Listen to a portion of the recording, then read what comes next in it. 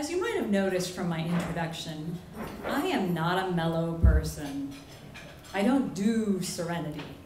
I've tried. I went to a yoga class for a while, but I kept getting mad when the lady kept telling me how to breathe. So, uh, when a couple of my really dear friends, Lori and Kirby, invited me for a spa weekend, I was excited but a little nervous. I mean, I'd never been to a spa before. I didn't really know how it was done. But they promised me they would show me what to do, and the timing couldn't have been better. It was going to be a weekend in February, and the cold and dark months here just get me down. February is the worst, you know? Plus, I had a ton of stress at work, and I have a small child. I really needed to get away. So I said, yeah, let's do this, spa! So um, they said that wasn't quite the right approach. Um, Lori sent me to the website for the Salamander Spa. And as I clicked around, I was intrigued but a little confused by what they had to offer. Evidently, according to the website, I wasn't going to a spa for the weekend. I was embarking on a transformational journey to wellness that seemed like a lot to ask of just a weekend at a spa, but I was keeping an open mind, totally. I need to pick a body treatment. Again, not quite sure what that means, but I saw a massage category, and I like that. So I picked an immersive and inspiring winter warming seasonal ritual. And I had no idea what that was about. But I knew it was a massage and it had the word warm in it in February, so good. So the day came and we got to the spa. We got to the hotel. The salamander looks like just about any hotel until you get to the inner sanctum of the spa. That's when I noticed the difference. The colors were all muted browns and greens, and bamboo grew artfully, and fountains gurgled, all of which was meant to soothe me. And I was not sure it was going to work, but I was keeping an open mind. Our guide showed us where we would be changing out of our clothes into big fluffy robes and sandals that we would be wearing all day. All day? I've had massages before, and you go in, you take off your clothes, you get your massage, you put on your clothes, and you're out. All day? But the only other place I'd ever heard of where you're asked to relinquish your clothes upon arrival is prison? but my friends looked super happy, and so I was going with it. We all were escorted into a waiting area, which was a beautiful sunny room. And hey, guys, snacks! This was better than I expected. There was a big bowl of seeds and nuts and an enormous glass jar of ice water with fruit floating in it. This looks great. So my friends and I sat around having a fruit water cocktail party, naked in robes. It was odd, but I liked it. We were all called back for our body treatments, and my massage was lovely. It involved stuff that smelled good, and it was really nice. Was I transformed? No. Was my body relaxed? Yes. When Lori Kirby and I were all done, uh, our guide escorted us through and gave us a tour of the common area of the spa. She said, over here is the aromatic steam room. Hmm, that looks nice. Over here is the vitality pool. It was a hot tub. It was a nice hot tub, but okay. Vitality pool.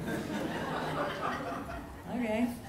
Over here is the experiential shower. Wait, excuse me, what? what what's that? She clarified, oh, this isn't a shower where you get clean. Those are in the back. This is for therapeutic relaxation. All right, I gotta try this. An experiential shower? Okay, so my friends went off to the vitality pool and I went into the experiential shower. I walked in and it was about two or three times bigger than any shower stall I'd ever been in before. The green and blue tiles shimmered in the dim light and it seemed a little dark actually. The brightest thing by far was a touchpad on the wall.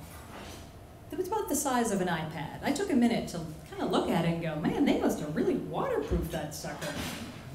I focused on my choices. The choices were Arctic Mist, no. Body spray, Tropical storm. Hmm. Rainforest. Ooh, that sounded good. I touched rainforest, and suddenly, hidden speakers began to play spa music. You know what I mean? Above me, an array of small colored lights embedded in the ceiling began to pulse and undulate with the sound of the music. I stood, naked, transfixed. There's a light show in my shower! Oh my god.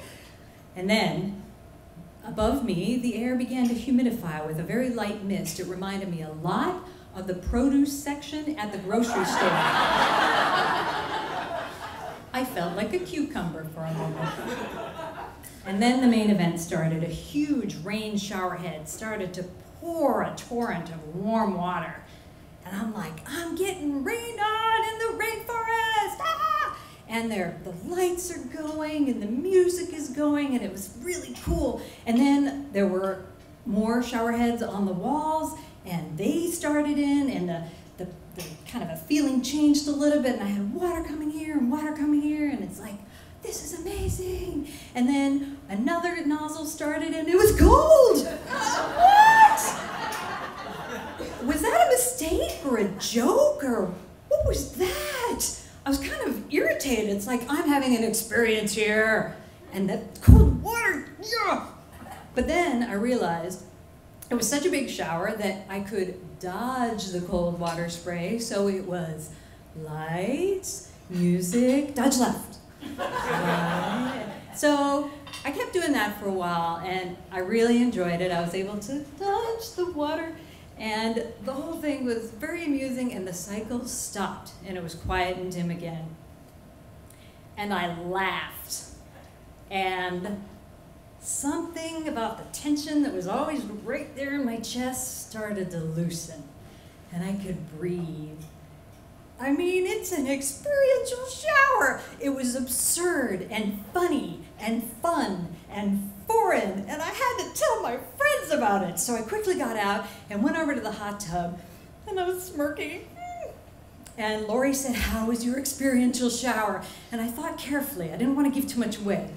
I said, It's like Disney World, but less uniformly pleasant.